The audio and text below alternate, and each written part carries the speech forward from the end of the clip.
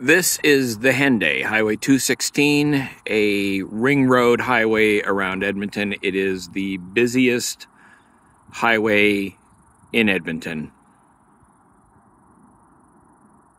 I have a t shirt that says still stuck on the Henday. It was the first thing I bought when we moved here because, as a person who had dealt with the QEW, the Gardiner, the 427, the 401, the 403, and all the other highways around the GTA, the idea that this was something you could be stuck on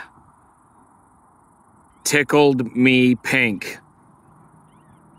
Like, seriously, 2 o'clock in the morning on a Sunday, the QEW is busier than this.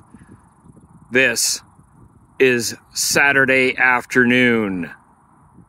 Think about that next time you're on a 400 highway in Toronto, huh?